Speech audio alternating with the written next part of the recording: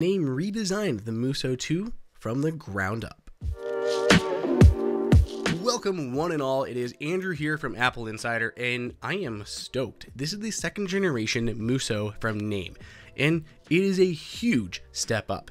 From the outside, it may look pretty much the same, but Naim actually redesigned 95% of this guy, and it definitely pays off. The feature set is ridiculous, and I know we're just beginning this review, but heads up, this is possibly the best all-in-one hi-fi system you can pick up. Forget the Sonos, forget the Marshall speakers. If I was picking up one speaker that I really want to do everything with, this would probably be the one to do so. And that includes replacing my original first generation Muso. Now again, a lot of this is very similar. So the design looks pretty similar. You have this swappable grills on the front that come in a variety of colors, including olive green, peacock blue, and terracotta red but a couple important changes were made to the outside, and a ridiculous number of changes were made to the inside. So hitting up the design first. Obviously the grills have been slightly redesigned for the new body. Inside, if you take off that grill, you can see all of the woofers and tweeters that are hiding behind it that are really powering this thing. It actually has more power now going from 450 to 470 watts of output.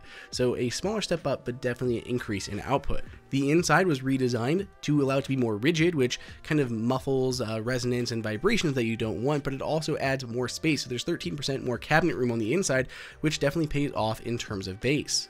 On the side, you have the USB port, which you can use to plug in USB media. On the bottom, you have a 10100 Ethernet jack, an audio input, just 3.5 millimeter, an optical audio input, and for the first time this time, we have HDMI ARC. So that's pretty cool because you can use this as a sound bar. The downside is it's a little bit tall for that, but it does work now. It's so much easier to control using ARC rather than the optical or other inputs. The oversized control wheel remains on the top, as does the acrylic base on the bottom that lights up both those lights are dimmable, so you don't have to worry about that.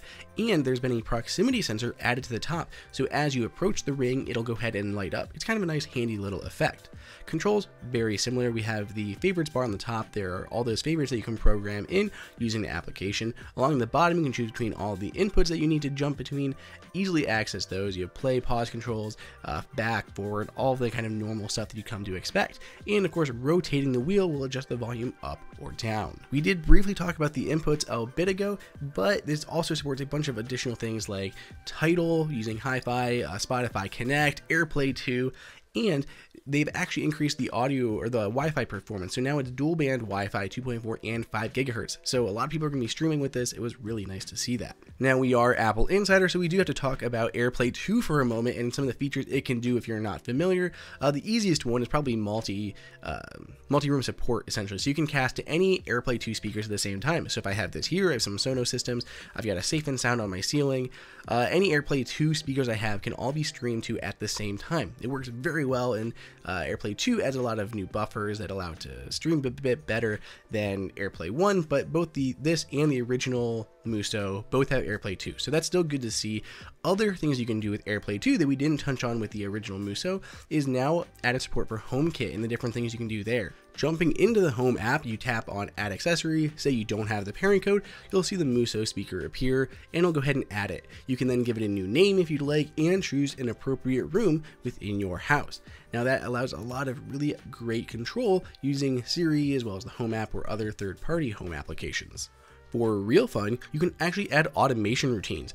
For instance, you can have it automatically shut off the speaker when you leave the house, or when you arrive home, it can play a playlist for when you arrive home, or maybe when you wake up in the morning, you can automatically have it wake you up with a energizing playlist, or you can just have everything set to a scene with Siri, so when you go to work out, say the, you know, Siri catchphrase, and then go ahead and say whatever scene you've set up, which can automatically dim the lights or turn on the lights and play a certain playlist that you like to do when you're in the gym, whatever it may be. So it's really great to see how you can control these speakers through AirPlay 2, as well as through HomeKit, and of course through Siri. Now, audio quality. So we're not going to get really nitty gritty with the audio quality. There's a lot of preferences here, and we're not going to be able to play you any samples, licensing reasons for popular music and everything, which I'm sure you guys really want to see. So if you can, try one of these out for yourself. But hands down, this speaker sounds amazing.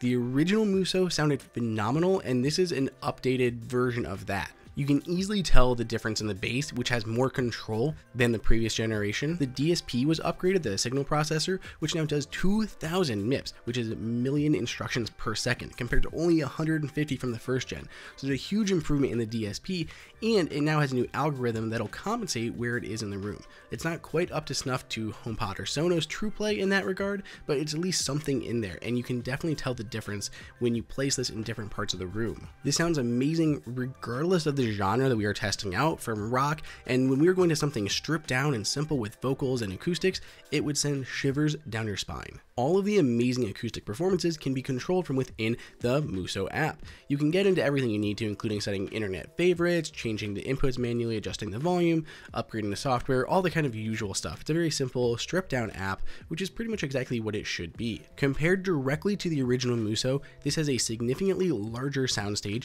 There seems to be more definition in the nuances of the music.